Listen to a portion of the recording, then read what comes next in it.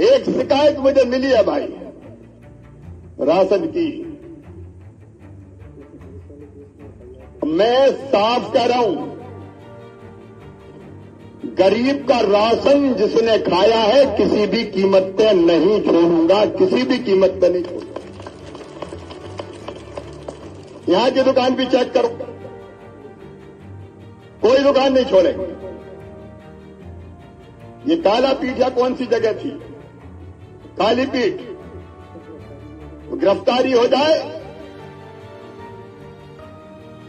और देखो ऐसे लोग कौन कौन है। ये देखने की जवाबदारी किसकी थी कि राशन ठीक से बटी। तो जिला आपूर्ति अधिकारी जो भी प्रभारी है, उसको मैं तत्काल सस्पेंड करता हूँ। ऐसे लोग नहीं चलेंगे, ये थोड़ी चलेगा क्या? कौन देखेगा?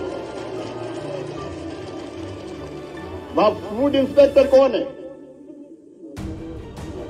जो भी है फ़ूड इंस्पेक्टर वो भी सस्पेंड